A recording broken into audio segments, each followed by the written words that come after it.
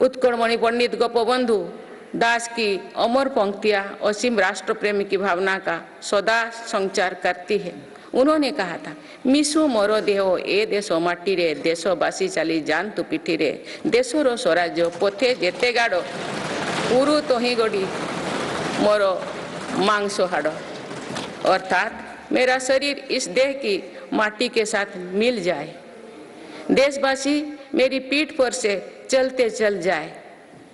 देश के स्वराज पथ में जितनी भी खाइयाँ है, वे मेरी हार्ड मांग से फट जाए।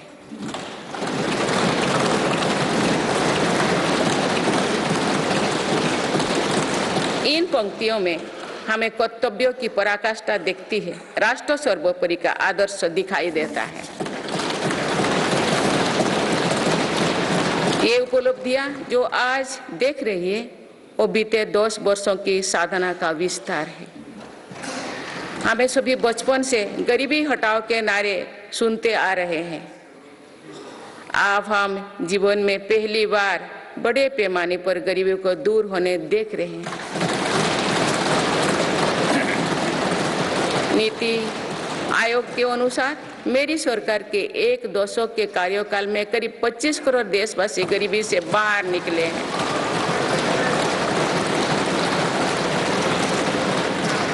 ये है प्रत्येक गरीब में नया विश्वास जगाने वाली बात है। जो 25 करोड़ लोगों की गरीबी दूर हो सकती है तो उसकी भी गरीबी दूर हो सकती है। आज अर्थव्यवस्था के विभिन्न आयामों को देखें तो ये विश्वास बढ़ता है कि भारत सही दिशा में तथा तो सही निर्णय लेते हुए आगे बढ़ रही है। बीते दस वर्षों में हमने भारत को फ्राजाइल फाइव से निकलकर टॉप फाइव इकोनॉमीज में शामिल होते देखा।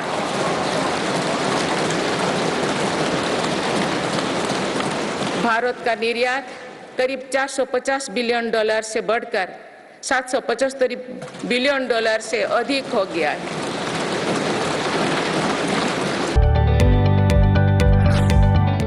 जदि आपंक आम भिडी भल लगा तेब आम को लाइक, शेयर और सब्सक्राइब करने को जमा भी बुलां नहीं।